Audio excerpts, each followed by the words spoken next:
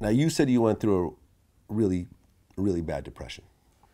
Both of us, man. It was Yeah. just, um, I, but I, you know, the one thing I, I, I always say this in every interview when they ask me about that, that, that period of time. I tell people that I always foresaw the Milli Vanilli train stop. I always saw that happening, hitting the wall, boom, stand still. It's like when you're in a fight, you know?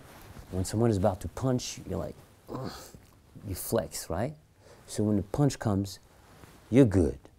but when the punch comes by surprise, you're knocked out. You don't see it coming. Yeah. And with Rob, he didn't see it coming. We were pushing, you know, we wanted to get out, but he didn't think that it would affect him like that, that it would take everything away. I had a feeling that our life would be totally, it would be night and day. But he thought maybe because of everything that we, we were working on, the world tour was coming, we're trying to work a new situation as far as Rob & Fab singing on a record with another team of producers. But when he hit him, it hit him hard. So he went, I kind of like, I was in the process of stopping everything. I was like, yo, I got to stop the drug part because if I don't do that, the edge is very close and I won't be able to get back up. So I got to stop. So I had that going. But he went just to forget because it was painful. Sure. Because then, then after that, it seemed like people try to sort of pick up the pieces. I guess um, the original vocal vocalists try to come out with a group called the Real Milli Vanilli. Well, that was done by Frank. Oh, Frank. Frank was behind that whole thing. Frank tried to put out the Real Mi- Milli Vanilli. Seriously? Yeah, yeah. Took them on the road. They, they, they released an album. They went on the road in various territories. Yeah. You guys came out as Rob & Fab. Yes, and that was that situation was, uh, you know, we had a manager at the time. He was German, who thought he could handle this thing and take it further, and he got us in a situation with uh, with this independent label that had no power. That didn't have, they didn't have the money to print records. Once we did the record, and that's when my new manager came in, Kim Marlowe, and she was trying to fix that whole thing. But we were already signed, so it was like, okay, Right. let's do this. Let's release one single. Let's get a video done, and let's get it done. You know. But we finished this project And it came out and it sold 2,000 copies. Because there was no records in the Right. store. Qu- quite a difference from the, the 30 million that you guys are just Yeah, used man. to. It was it was a brand new. It's like you know you have those new glasses on, Yeah. and the world looks very different now. And, and but you guys are doing your own vocals at this point. Yeah, yeah, yeah. We actually did some did some some some touring, some club tours, and here and there to let people know this is the new project, this is the new music. Right. You guys went on Arsenio, I think, and Well, Arsenio, what, what Arsenio did, he did a countdown, a one month countdown, countdown, and you know, Milvin, you know, Robin and Fab were going to perform, and we did it, and we killed it. Anybody can go back and look at that performance. I killed it. I can say that. And, and, and guests that came after that were like, "Yo, Fab did this thing." Rob wasn't there. You know, during the whole process of the record, he had, you know, this drug addiction that kicked in in overdrive. So he was kind of like, now it was, it was deep. And he was trying to get out of it. He was fighting it, but it was very difficult because the pain, he really got, you know, he couldn't recover from the punch. Well, Rob at one point said that he felt like you guys sold your souls to the devil. Well, you know, we kind of, we kind of did. Yeah. really. You know, we not realizing what we were doing. You know, if someone would have told me, you know, like, you know, in the night, yo, we can rewind. Let's rewind this. I'd be like, with everything I know now, let's go back. Dope. Let's go back to the beginning. But that wasn't possible. Well, but I think I don't know if it was you or Rob that said that even if you could rewind it, you might still do it all over again.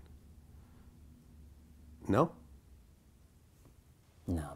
No? To go through that, that's crazy. I mean, you went through that, but then also the heights of it. Yeah, but no, man. That's No. painful, man. Okay. That's painful too.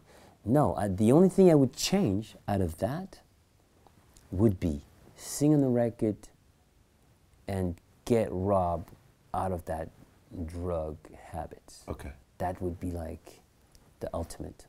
So after you guys put out your own project, the, the Rob & Fab project,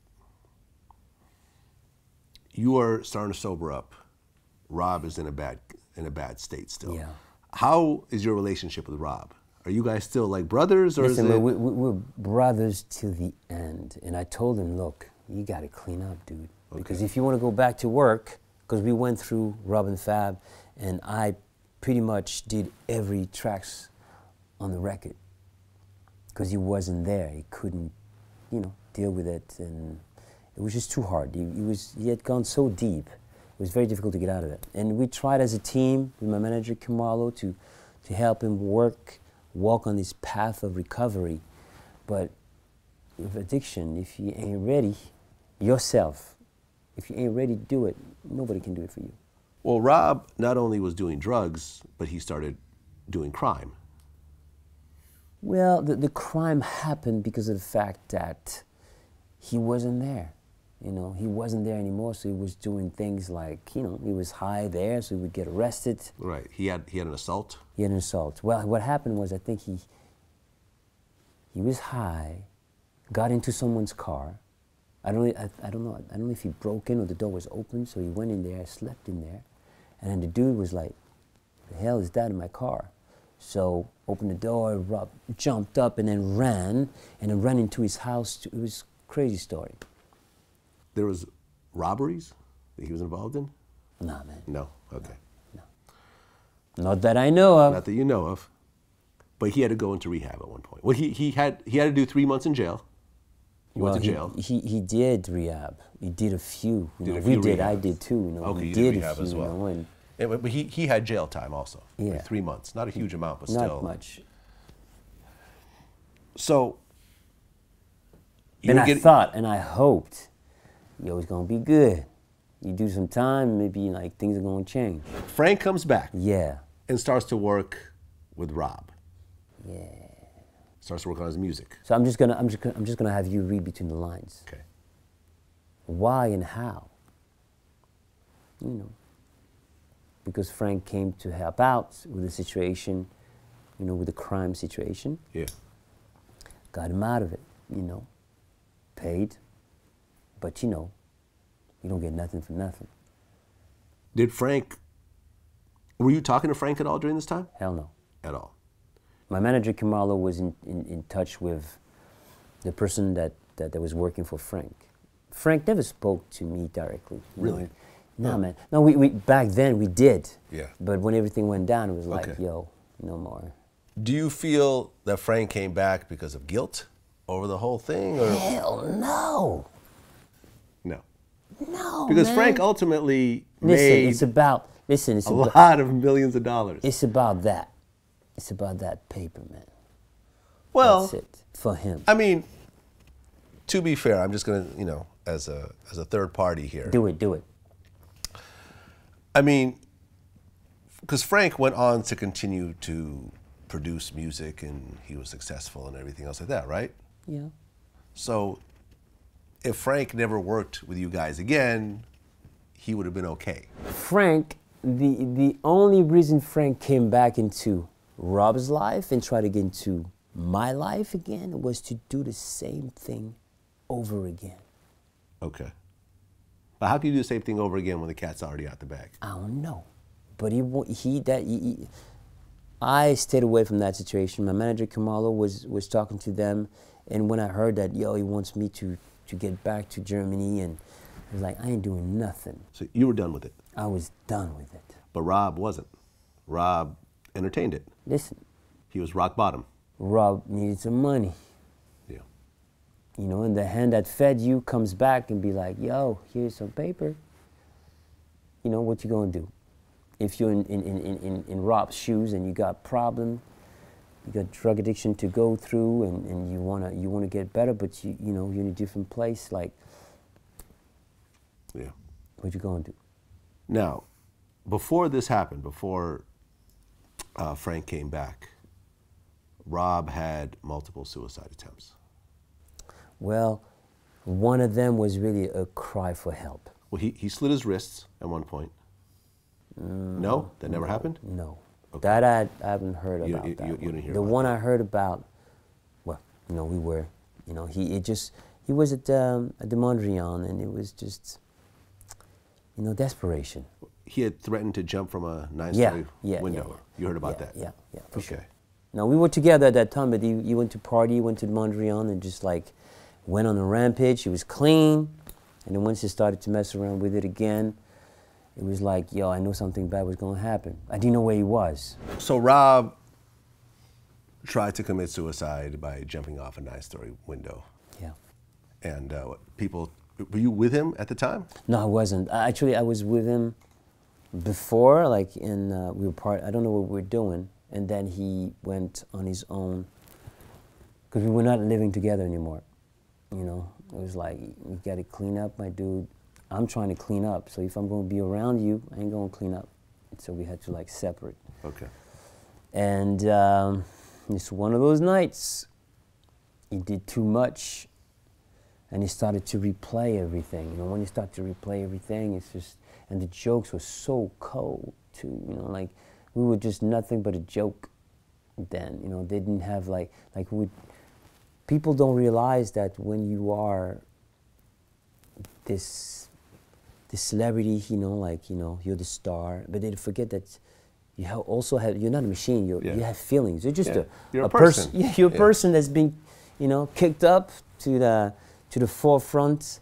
You know, and you yeah, you're on TV, you're on radio, you're everywhere and everything. You know, you're famous, but you're a human being. And um, when they, when they charge, man, they charge hard, and it's hard to to walk down the street without.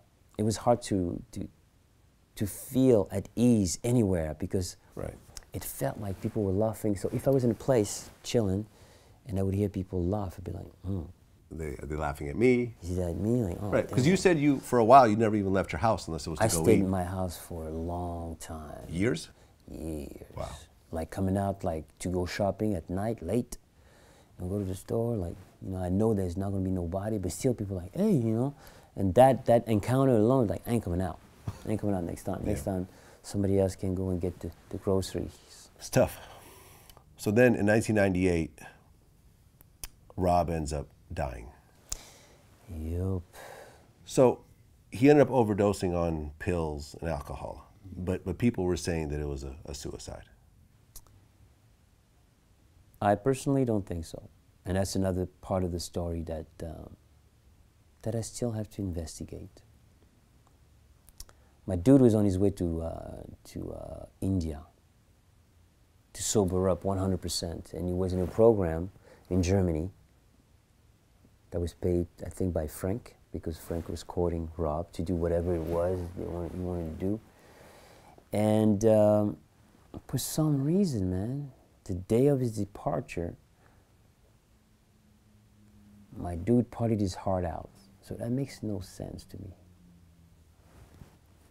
You're about to sober up, but you know, in the mind of an addict, nothing is really clear until you're out of the tunnel. So maybe just like back in the days, we were like, yo, we're gonna stop for one week. So we go cold turkey, one week, nothing. But the week after, it's like, man, double up, bro, double up. So, you know, maybe it's one of those, like, I'm gonna do one last time. I'm gonna get high. Oh, because I'm about to go into rehab. I'm about to go clean up 100%.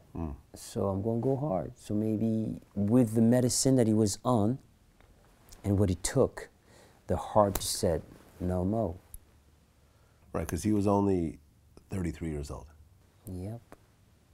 And you know, it's funny because back in the days we were young, we're like, when everything was heavy, we were like, yo, man, it would be okay to just, you know, check out. You know, young forever. Marilyn Monroe, Elvis Presley, it's young forever, man. It's like, yeah, man. And it was like, I don't know, man. But he was like, yeah, man. Fuck, you know, whatever. I was like, I don't know. I, I, I still think that I want to I want to go further here. I think there's more to do. I mean, 33, you- you're still a baby at this Oh, point. Oh, man, you- I you've mean, got you're, so you're, much. you're how old at this point? I'm 50. Yeah, yeah. He missed out on, and he, you guys were the same age, right? He was older. By Two years. Two years, right? So Yeah. you were 31. So he was my big brother. Hmm. You know, growing up together, you know, it's a big difference. Two years at that Yeah. age makes a big difference. So he was, he was my, okay, he was the big brother, pretty much. But eventually, when we grew up, then I, I became the big brother. And I tried and tried and tried and tried so many times to, to have him, to have him see the light, but he couldn't see it. As much love that I gave him, you know, brotherly love, my dude, I love you. But listen, you got to get out of there because, you know, this is, it can only end, there's only a few scenarios. You know, it's, it's jail, it's cemetery, it's the hospital. And all those avenues, it ain't pretty. But still, and, and he was adopted. And I believe that early on, when we met, there was always that, yeah, that void I could see, you know, because he was, he was adopted and um, there was something missing, you know, and becoming celebrities, you know, pop stars, whatever you call it, it was, uh, it was lovely, you know, you know, it filled that void. Everybody was loving you, you know. But I grew up. I had my family, even though I came from a divorced background. But I, I feel like I was a little more balanced, Yeah. and he didn't have that. So when everything went off balance, it was just like, wow, it threw him off. When you got the phone call that Rob had passed, Yeah, and you were the closest person in his life for, he's the only person that knows what it was like to to walk in our shoes. How, how badly did it hit you when you got that call? Well, Kim Marlowe, my manager, got the call, and then she she just like lost her stuff on the floor, and then. But as she was crying, she was on the floor. She, I heard what she said before that, and I knew this moment would come. I you, just knew it. You come. weren't surprised, You're always surprised when it comes, but you knew it was coming. but I knew it was coming. I was hoping that it would never come, but when he came, in, it was like um, I lost my earring for like a good minute. It was like the ears were ringing. It was just like, oof, it was just intense. You know, losing someone that you care for is, is on the physical level. Psychological is different, but on the physical level, it, was just at that moment in time when you get that news, it was just uh, a rush of adrenaline. You're not moving, but your body is just going through the, the motion.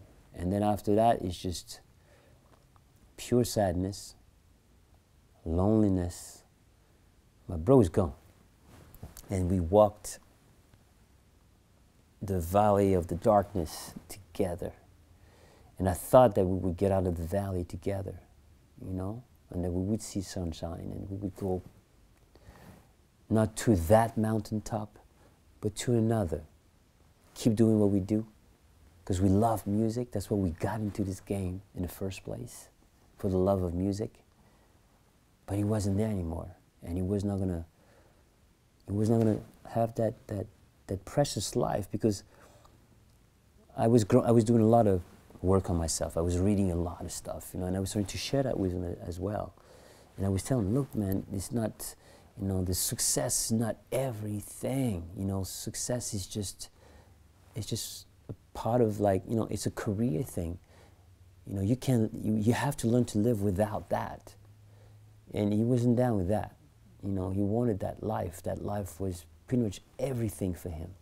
Because, you know, being loved, even though his motto was, it's better to be feared than to be loved. He loved that love when people acknowledged him and gave him attention, being in the center of attention. He loved that, you know. I loved it too, but I was more of an introvert.